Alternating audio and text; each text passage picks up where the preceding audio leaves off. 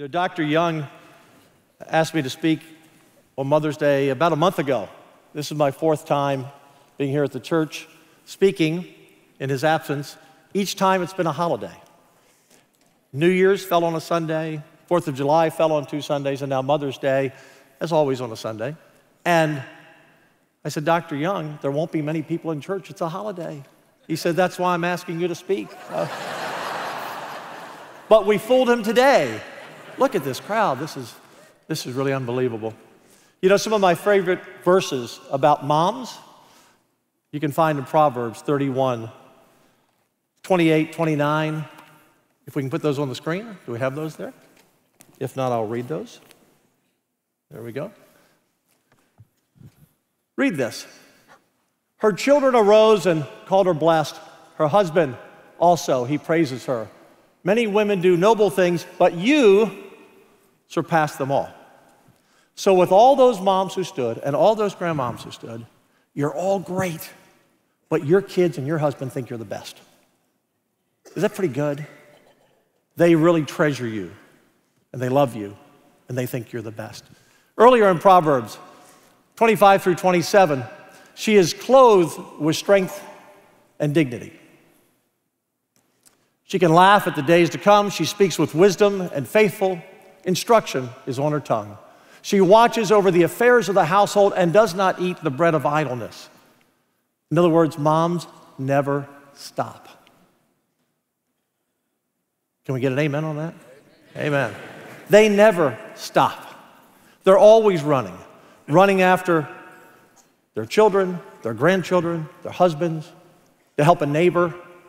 They never, ever stop. They give husbands advice, like getting dressed. Guys, I don't know if this has ever happened to you, but have you ever been dressed? You thought you looked good, you walked out, and your wife said, You're not wearing that today, are you? this is why this is my third tie this morning. She didn't like the first two. They never stop. And then I love this verse from Isaiah 66 13. As a mother comforts her child, so I will comfort you. So think back a moment. Take a deep breath for all the adults and teenagers here. Think back maybe when you were five or six or seven or eight or nine or 10, a child.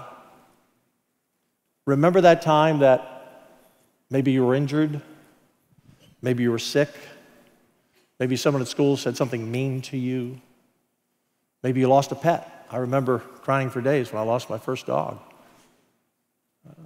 Something happened, and where did you run to? You run to your mother's arms. And you can feel that hug today. I brought my mom's Bible.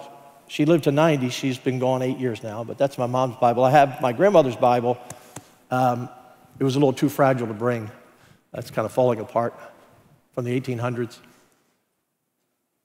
But you always knew when you went to your mother's arms that she would say, Don't be afraid. It's okay.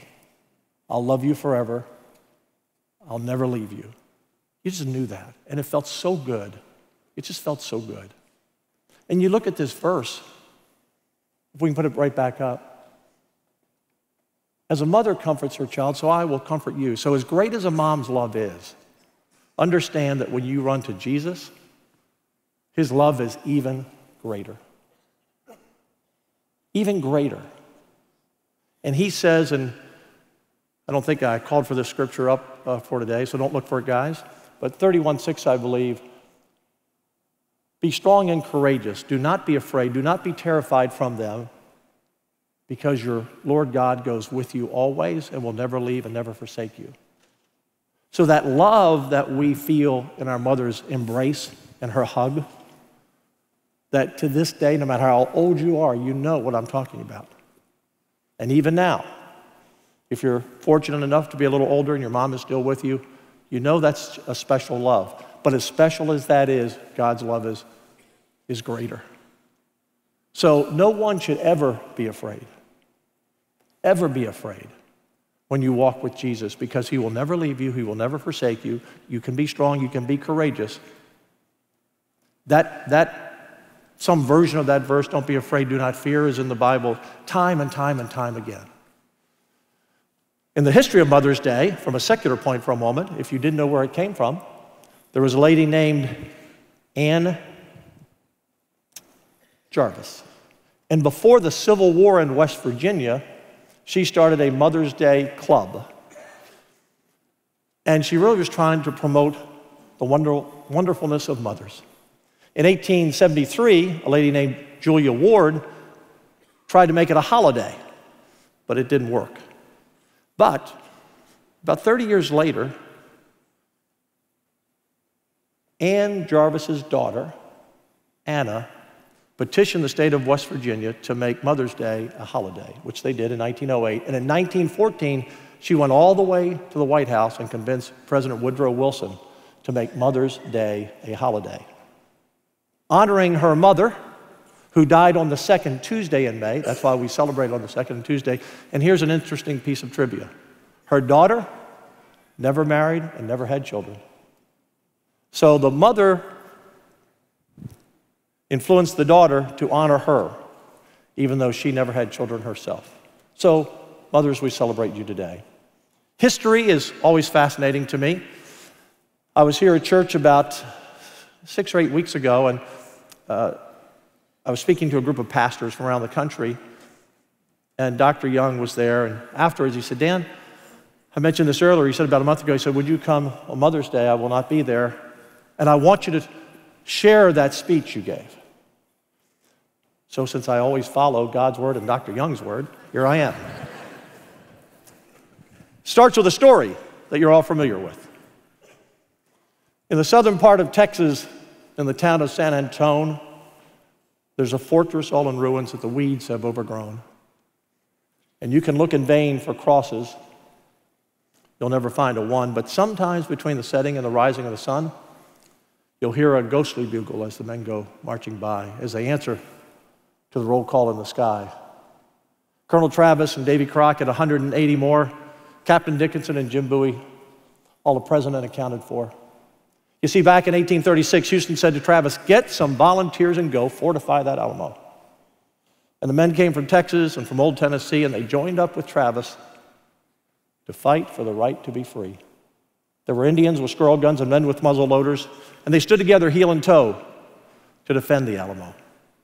You may never see your loved ones, Travis told them that day. Those who want to, you can leave now. Those willing to fight to the death, you can stay. So in the sand, he drew a line with his army saber, and out of 185, not one soldier crossed the line. With his banners a dance in the dawn's golden light, 5,000 troops behind him, Santa Anna came prancing in the night. He sent a message to tell Travis to surrender, and Travis answered with a shell and a rousing rebel yell, and Santa Anna turned scarlet. Play Degüello, he roared. I will show them no quarter. Everyone will be put to the sword. Five days, six days, eight days, ten, Travis held and held again. He sent for replacements for his wounded and lame, but the troops with Fannin never came. And twice he charged and blew recall, but on that fatal third time, Santa Anna finally breached a wall and killed them one and all.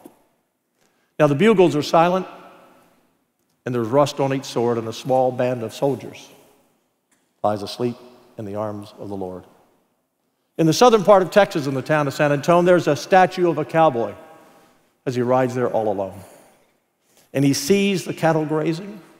For a century before, Santa Anna's guns were blazing and the cannons used to roar. And his eyes turn sort of misty and his heart is all aglow. And he takes his hat off slowly to the men of Alamo, to the 13 days of glory to the men of Alamo. Now, we all know that story. Even if you're not from Texas, you know that story. If you didn't read it, you watched it. You know that story. It was about men making a decision to fight for independence, for liberty, and freedom. And that story goes on and on and on and on. It's what Israel is fighting for today for independence, for liberty, and freedom. It's what they're fighting for in Ukraine, the people of that country. People know that story all around the world. And some would say, but they lost the Alamo, Dan. Well, we've won a lot of wars as a nation. We've lost a few battles on the way to victory. That loss was not a loss because remember, the Alamo became the cry for Sam Houston's troops in San Jacinto not long after that. History is an interesting thing. I talked to David McCullough, uh, who wrote great books about Jefferson Adams, the Wright brothers. If you've never read 1776, it's a wonderful book about George Washington's travails when he was run out of New York and really went most of the next six years without ever winning a battle, one or two here along the way. And we were talking afterwards at a book signing, and I mentioned something about history because he is an historian. And he said, Well, Dan, you don't understand. There's no such thing as history. And I said, Well, explain that to me. He said, You see, Dan, history is diminished when we look back on it because we look back on it through our eyes that they knew they were going to win. And that diminishes what they did. Because if you know you're going to win, it's not a big deal. Okay, we're going to lose a battle here or there, we're going to lose some men and women in battle, but we're going to win. No, he said they didn't know they were going to win. The founding fathers would have been hung had they lost. Their properties would have been taken, their families put in jail. The king would have seen to that. They didn't know they were going to win. But based on what they knew, what they believed, what they thought was worth fighting for, they put it all on the line. They put it all on the line. Abraham Lincoln. Everyone assumes he knew the Union would be preserved. He didn't know. Notice he was pretty tall for president. Back then, pretty tall. He didn't know. He almost lost the war at Gettysburg. But he believed in preserving the nation, and based on the information he had, and based on what he believed, he risked everything. If you look at General Eisenhower on June 6th, D Day. Talking to the troops, that was the day before the landings at Omaha Beach. Didn't know they'd win. And had Omaha Beach not been a success, successful landing, Hitler would have fought on another few years, and he was on the verge of having his own atomic weapon hydrogen bomb, atomic bomb. He was on the verge of having rockets. They were already flying uh, pretty basic jets in the war already and shooting some rockets. Eisenhower didn't know the outcome. Didn't know the outcome. But based on the information he had and what was at stake, he took the chance. Took a risk. And then let's fast forward to 9 11. I was in this church with Dr. Young in a men's prayer meeting the morning of 9 11 when the first tower was hit. And Ed Hendy was in the room, and he's a pilot, as you know. You know, Ed. He, he came in and said, A plane's hit the tower. We all most people thought the first time you heard it was an accident. And then the second plane hit the tower, and we knew it wasn't an accident. It was a good place to be at church when that happened, as we all prayed, and I'm sure you prayed wherever you were. And I was active in my radio station back then. Um, haven't been since I've been lieutenant governor for, and senator for the last decade or more. But I was active and still in the air, and I thought, I've got to get to the radio station I need to find out what's happening. People are going to be turning on to hear the news. And before I could get to the station down on Kirkwood and I 10, the Pentagon had been hit. We didn't know. He didn't know if we were going to prevail. But based on the information, based on what was at stake, based on being willing to take a risk and putting it all on the line, for independence, for liberty, for freedom, we were victorious at that moment. Through all of that, through all of that, these were people who made very tough decisions. So when we look back in history and tell our children about it, or talk amongst friends, just remember they didn't know the outcome, but they were willing to fight for what they believe. And through it all, we know that Washington and Lincoln and Eisenhower and President Bush all went to prayer. Where are we today in this country? Where are we today in this world? I would challenge anyone, and I would say we are at great risk. Great risk. I visited a uh, Titan missile site uh, out in Tucson, Arizona, about a month ago. I was there to see a friend of mine who had turned 86, and I've known him for 50 years, and I wanted to go say hi. And there's this little, if you're ever in Tucson, go by. It's a great 45 minute museum tour. And the missile still sits there in the silo. It's nine stories tall. They've removed the warhead, of course. It's the same missile that took, took us to the moon. It's just instead of pilots and astronauts on top, there's an atomic weapon on top. We had 1,600 of them back in 1962 to 1980 when this base was active. And in 30 minutes, in 30 minutes, Russia could launch a missile at us and hit any city, and we could launch a missile at them and hit any city in 30 minutes. The whole world could be lost in 30 minutes.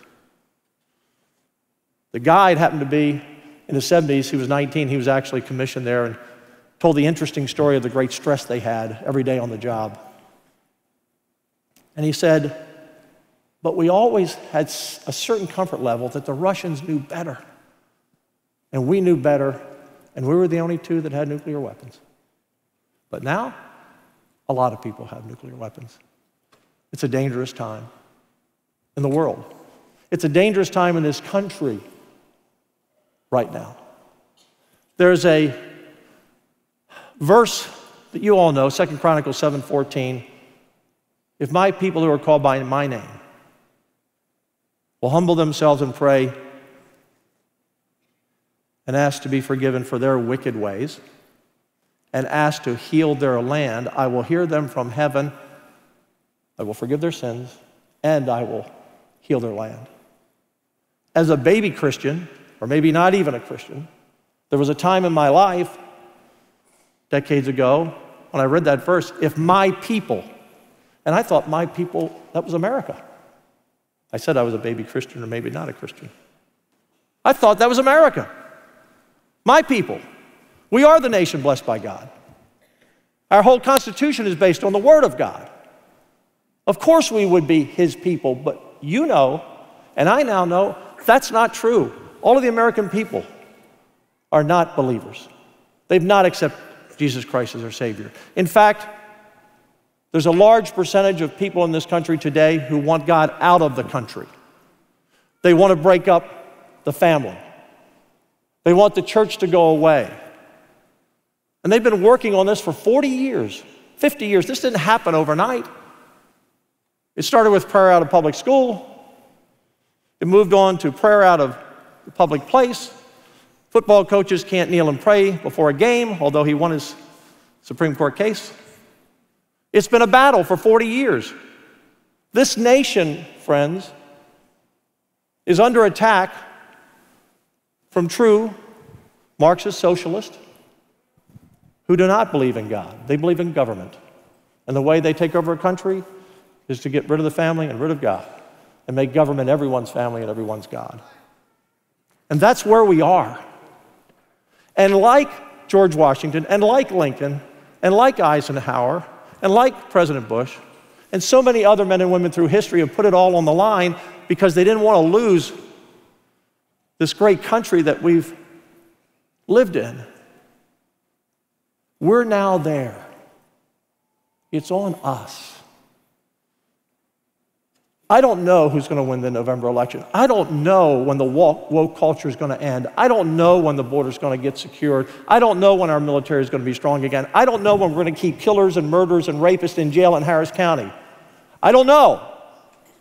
But I know if we, as Christians, my people, don't stand and fight, we lose. We lose. We lose.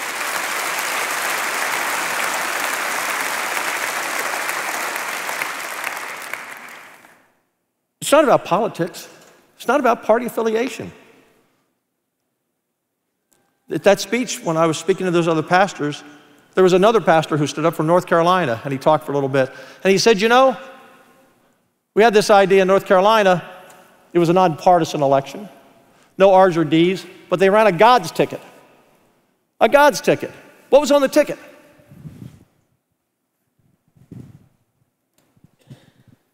That we believe in God.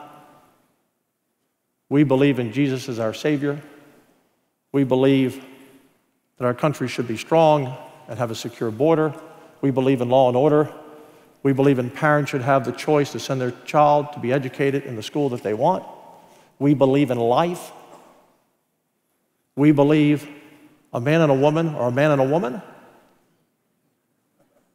That ticket that would win votes from everybody. That ticket would win votes from everybody.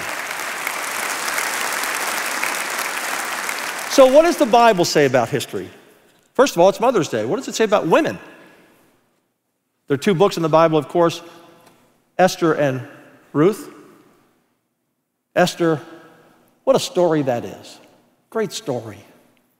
An orphan to a queen. She saved Israel. Ruth, about loyalty, devotion, and love. Great story. Women always played, even though a lot of the biblical figures are men, women always played significant roles in the Bible's history. I remember when I was a kid, someone said to me, Dan, do you know what the Bible's all about? I said, It's God's Word. He said, Yes you know what Bible stands for? I said, no. He said, basic information before leaving earth. I've never forgotten that. If you go through the Bible, and I wrote a book, Ben and I were talking before I came out. Uh, I can't believe it's been 22 years ago. I wrote this book called The Second Most Important Book You'll Ever Read. A challenge to read the most important book, the Bible. I've never been to seminary. I'm not a theologian. I'm not a preacher. Although when I'm out of office, this is what I like to do part time, traveling around the state or the country, because it's what's most important to me. But when you look at the Bible, it's an instruction guide for life, it's a tool for teaching, it's the history of the world. Most importantly, it's about forgiveness and love and salvation knowing that you have hope, the expected hope that you will be in heaven. Not like a hope, like a hope I hit the lottery, like it's a promise. Most important book. That's why I wrote my book. This is the most important book ever written. And women played important roles. When Jesus' life was beginning, it was Elizabeth carrying her baby. And when Mary walked in pregnant with Jesus, her baby left for joy the minute Jesus walked in the room. Throughout the Bible, stories in the New Testament where Jesus interacted with women in powerful ways, in touching ways, and loving ways. At the crucifixion, many women were there.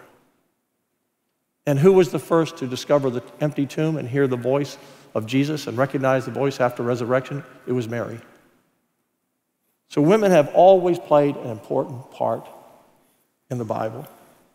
And I think, guys, we're lucky because the Lord has blessed women with talents that we don't have. And we need them. They make us feel worthwhile. They make us have a reason to go to work and support our families. They make us have this feeling that we'll do anything to protect our family. And remember, back to Isaiah 66 13, as a mother comforts you, so will I. There's something else about history. Um, when I wrote the book 20 years ago, um, I, look, I remembered back when I was going through my early days of Bible reading and being a Christian, trying to answer questions, trying to answer doubts. And one of the things I kept coming back to was Jerusalem. Always to Jerusalem. You know, the Bible could have, could have set any one city aside and said the whole world is going to always be in turmoil over Jerusalem. I mean, there were lots of countries back then, there were lots of cities. Most of them have all disappeared. The sands have erased the map lines. So, how is it that a Bible of 66 books in the Old and New Testament talks about one city, one city, thousands of years ago? And here we are again today. People say, well, is this the end times? Don't know. Is it the beginning? Near the end? Don't know. I'm not, I'm not a student to teach on that. But I know this that every time Israel has been a nation, it's been attacked. You can name all the different people attacked them the Philistines, the Babylonians, the Assyrians, the Egyptians. They've been attacked and destroyed. And why? Because God says in the Bible He has a special plan for Israel. A special plan. And Satan doesn't want that special plan to come to fruition. So he keeps destroying Israel, and Israel keeps rising up. So, that little bit of history, when we talk about history today in this nation, think about the history of the Bible. Think about the history of the Bible. I don't know, as I said, what November brings or next year. I don't know when the woke culture ends and people wake up. I don't know the future. But I know if Christians don't stand and fight, as they have through time, we lose. Public polls show that 52% of the people in the country say they go to church every week. 52%. Of those, only half are registered to vote. And of the half who are, only half vote. So, why are we losing to the ungodly left, Marxist socialists who want to take over our country and take every right you have, including your religious rights, away? Because only one out of four people who profess Christ, my people, only one out of every four vote. We just get it to two, we own the world. We get it to three, we control everything. So it's on your watch. We don't know what the people 30 or 40 years from now are going to say about us. Hopefully, Christians will arise and fight for their country and fight for their families and fight for their beliefs and fight for the kingdom of God. Hopefully, we will. That's what we must do. And will they say 30 years from now, of course they knew they would prevail? Of course they knew they were going to win back 30 years in 2024. Of course they knew because they knew they had God on their side and they stood and fought. They had God on their side and they knew they could not lose. I'll close this with uh, Proverbs 22 6 for Mother's Day. Train them as children how they should go, and when they are older, they will not depart from that path. Moms, you give all of us a purpose. You teach us God's will for our life. You show us the path. And moms and grandmoms, we need you more than ever. And dads, we need you too.